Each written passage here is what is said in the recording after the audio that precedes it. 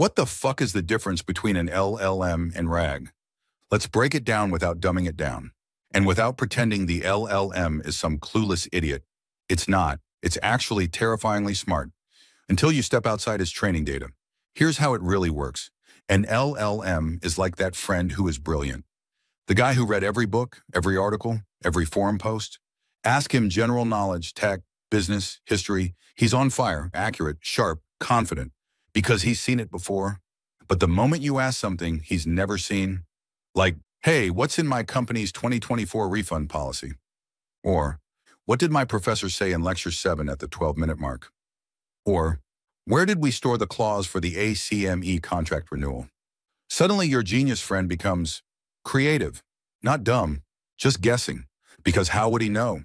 He's never seen your documents. He doesn't have access to your systems. He can't magically read your PDFs, transcripts, or notes, so he fills in the gaps using probability.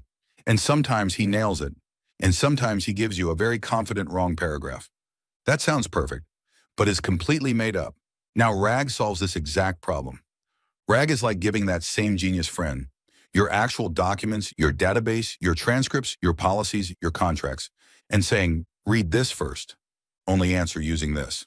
No guessing. Now, when you ask, what's our refund policy? What's the renewal date?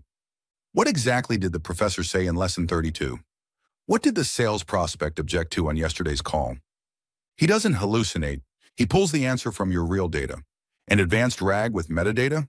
That's the next level. It's like labeling every document with, this is a contract. Here are the parties. Here's the pricing. Here's the date. This is a sales call. Here's the topic, objections, timestamps. This is an invoice. Here's the total, client name, due date. Now the LLM isn't just reading, it's doing organized retrieval with precision. And this is where the magic happens. LLM plus RAG together is smarter than either one alone. LLM gives you reasoning and language. RAG gives you truth and context. Put them together and you get something that feels almost superhuman. And if you want to learn how to actually build this, from basic RAG to metadata-driven search, to fully reliable pipelines trained on your business data. That's exactly what I teach inside my community.